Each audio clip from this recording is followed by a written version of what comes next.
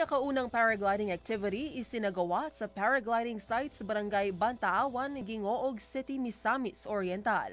May detalye si Rica Estrada.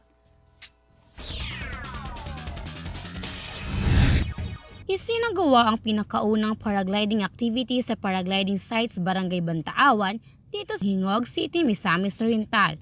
Ito ay naganap kasama ang matinding suporta sa lokal na pamahalaan, sa konseho sa Barangay Bantaawan at piloto sa Northern Mindanao Paragliding Club.